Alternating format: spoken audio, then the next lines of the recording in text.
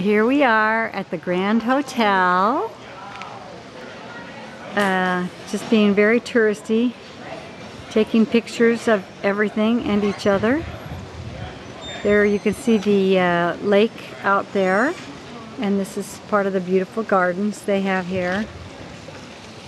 There's a nice uh, fountain. And over here, some kind of a little turtle sculpture or something. And that's all for now.